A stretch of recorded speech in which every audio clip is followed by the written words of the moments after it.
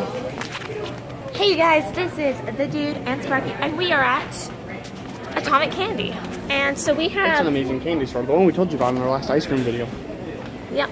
So we're, we're here. They have like literally every candy known to man ever. I mean, look at this. Look at this. They got one of these. You don't find these in Walmart anymore.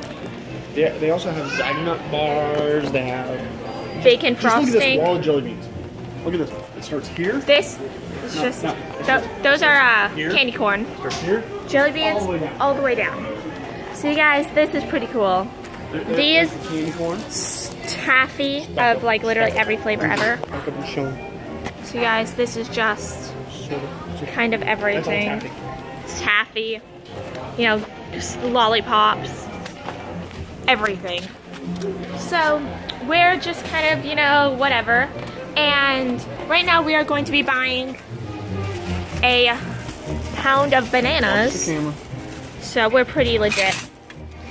Uh, anyway though guys, uh, we just wanted to say uh, like us, comment, share, whatever, feedback, Hey, ideas.